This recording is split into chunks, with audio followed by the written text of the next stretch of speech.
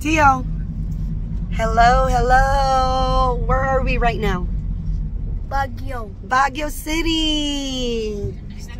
Sinong makapag Hi. Andre. Sinong ma Okay. Diarrhea. Stop saying that. Who would have thought thought na nandito kami ngayon sa Baguio? Oh my gosh. What are we doing here? Bakit all of a sudden, oh, nandito tayo. so we just got here. We decided to go to Baguio all of a sudden.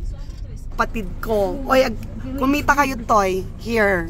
Give me food. There. So Diang is only two days before flying back to Utah and she decided to go to Baguio.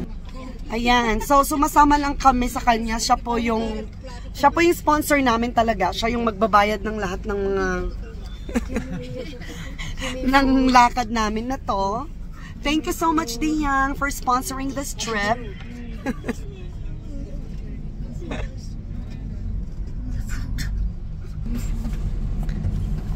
So it's almost 11 o'clock and we are looking for this certain restaurant. Ayan, oh my goodness. Last time I visited Baguio was in, it was in 2008. McDonald's. McDonald's. McDonald's. I attended St. Louis University for four years, so I used to live here for four years. What do you-.